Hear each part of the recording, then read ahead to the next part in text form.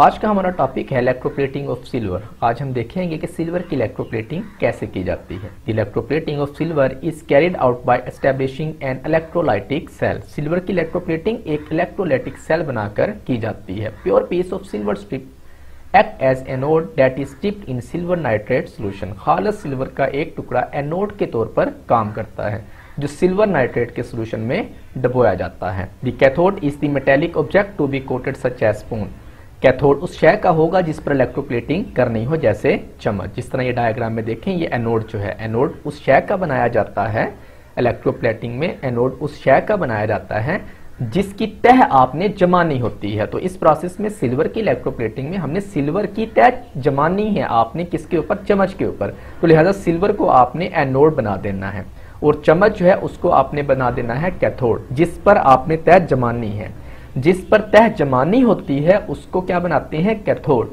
और जिसकी तह जमानी होती है, उसको क्या बनाते हैं? उसको एनोड बनाते हैं। तो लिहाजा हमने यहाँ सिल्वर की तह जमानी है। तो सिल्वर को हम क्या करेंगे? यहाँ पे एनोड बनाएँगे।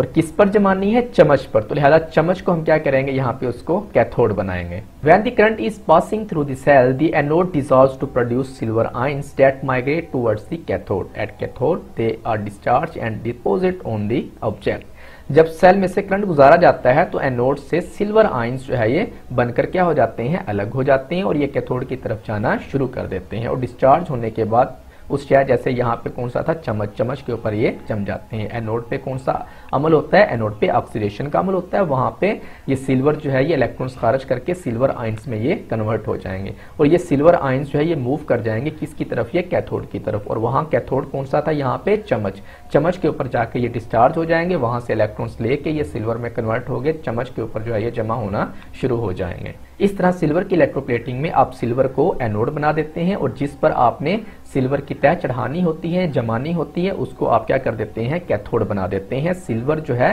सिल्वर क्या करता है, सिल्वर का एनोड जो है, ये इलेक्ट्रॉन्स खारज जब करता है तो ये सिल्वर आइंस में कन्वर्ट हो जाता है। ये सिल्वर आइंस जो है, ये कैथोड की तरफ़ माइग्रेट करते हैं, वहाँ पे जाकर ये डिस्चार्ज हो जाएँगे। और डिस्चार्ज होने के बाद जो है, ये कैथोड के ऊपर जो है, ये जमना शुरू हो जाएँगे। सिल्वर जो है, यानी कि चांदी की इलेक्ट्रोप्लेटिंग आमतौर पर खाना पकाने के बर्तन, छुरियाँ, कांटे, जेवरात और स्टील की चीज़ों पर की जाती है।